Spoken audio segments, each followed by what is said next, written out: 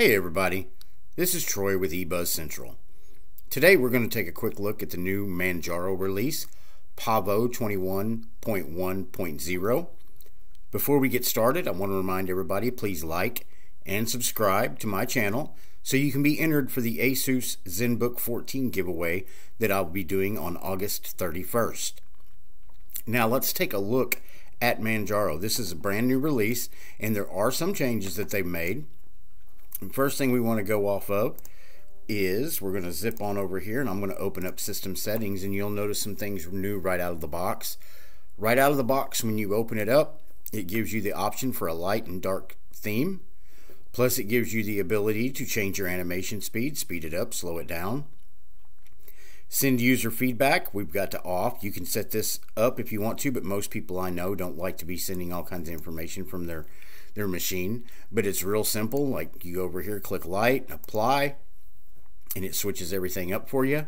I'm a little older, so my eyes need uh, a little bit more contrast, so I'm going to go with the dark theme, and we'll apply that right off the bat. But that's one of the few changes right off the bat you'll see. It's coming out of the box with a brand new, beautiful background wallpaper. I think it is very, very awesome. Uh, you'll know down here, you notice you're going to have some changes to your system tray. Your desktop, multiple desktop views, instead of being over here by this icon or by the application launcher, is now over here on the right side of the panel. And you can switch those. If you want to add more, you can do that in settings. You've got your Manjaro settings managers right here. You have a new if you notice this, this is what they call Matray. This is the Manjaro tray, and you'll get direct notifications from Manjaro about things that they've either updated or Manjaro news. Like you can see right here, this right here is a stable update, kernels, KDE software, NVIDIA, Firefox, Thunderbird, Mate. But they give you Pavo's release 21.10, but this is all news that concerns Manjaro, which will come in handy if you start running Manjaro and something new pops out. They'll notify you right off the bat and you don't have to worry about it. Go ahead and close that out. I've got OBS running, so that's over here. Of course, your system is up to date. Clipboard, volume, battery, Bluetooth, microphone, and Wi Fi. Now, if you look right here next to Wi Fi, you've got show hidden icons. Well, if you click on that, it got your status and notifications, your notification centers here, your night control color, which you can set up. It's off, but when you have night control color on, as it starts getting later in the day and it gets darker outside, your machine's contrast and brightness will actually adjust so it's not as hard on your eyes. KDE Connect, that way you can hook this right up to your Android phone and get messages and everything right on your Linux Manjaro desktop and then lock key status. That's what we have right there. Let's see what we got out of the box. One thing you'll notice right out of the box is the application launcher is different. It, it, they've rearranged it. It's a little smaller uh, in size now, and it's a lot easier to navigate through.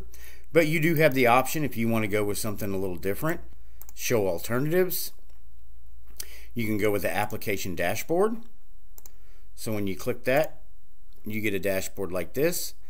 It breaks everything down. And then, of course, your shutdown, restart, log out is right there. Or you can switch over to application menu, which gives you the more focused menu right here.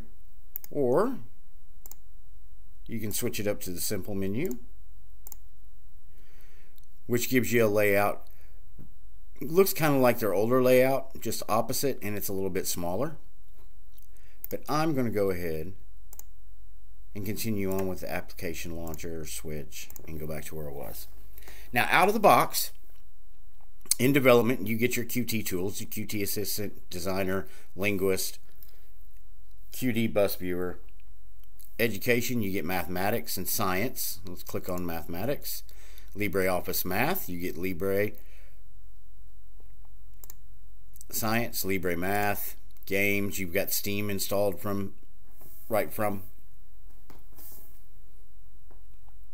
you have Steam installed right out of the box. Graphics, Now, I installed GIMP already, so that doesn't come with it. You get Gwenview, Okular, Skanlite out of the box. LibreOffice and GIMP I installed afterward. Uh, I installed LibreOffice, I installed OBS, I installed GIMP, I installed MailSpring, and I installed Kdenlive. That didn't come with it out of the box.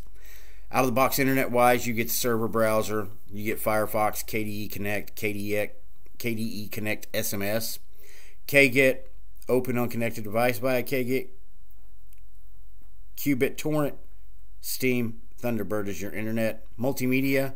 These are all out of the box except for Kdenlive and OBS. You get Elisa, K3B, Qt Test Utility, Qt Video Capture Utility, and VLC. Like I said, office wise, I downloaded all the LibreOffice suite. Okular came with it out of the box. Settings, add and remove software, app image launcher settings, Manjaro notifier, Manjaro settings, system settings. And then, of course, your system, add and remove software, Dolphin, hardware locality, HTOP out of the box, console, SysGuard, and then your utilities. But it's got a beautiful selection of uh, KDE apps and uh, Linux apps out of the box. Now, what I do want to show you is the KSys, the system monitor, has been updated for this release. It's going to look different for y'all. And it still has the transparent background when moving. This is your opening, when you open System Monitor, this is what you're going to look at right off the bat. I've got 8 gigs of memory in this laptop. It's using 2 right now at rest with System Monitor opened. Uh, 224 gigabytes of space. Its used space is 21.3 gigs. Now, that 21.3 gigs used space is including the fact that I've downloaded LibreOffice, GIMP, OBS, Kdenlive, uh, and MailSpring. But I will tell you right off the bat, uh, compared to Windows. Uh, Windows I had already used just on a base install and downloading Caden Kdenlive and OBS. I, had, I was already down to like 185 gigabytes. It was ridiculous. I went in and double checked some information and I had like 24 gigabytes of temporary files. It was just ridiculous. I got 12 cores on my Ryzen 5 at rest, opening with System Monitor. I'm using about 10%. We'll look at that here in a second. At rest, obviously, with OBS running in the background. OBS and system monitors, what I have open. Here's your history. It'll break it down. All 12 cores, it'll show me the history of it. Down here, memory, how much physical memory I'm using. And then, of course, your download upload rate right here. And then your processes. This is where you can come in, and if you've got something that you think might be hanging up, you know, you can always right click on it in process. And Just like in Windows, this has been in Linux forever. I love how Windows comes out and says, you know, we've got all these great great features coming out with Windows 11 and then you can go over and download something like Manjaro who's had basically those features for the last decade at least. Out of the box you get Firefox. And let's go over and look at some of the things that Manjaro's got on their website about their new release. Pavo Manjaro 21.1.0. Uh, it's using the KDE Plasma 5.22. This release features major improvements to Calamares, including file system selection for automatic partitioning and enhanced support for BTRFS. For BTRFS installation, the default subvolume layout has been improved for easier rollbacks and less wasted space on snapshots. Additionally, swap files on BTRFS file system are now supported. That's pretty impressive.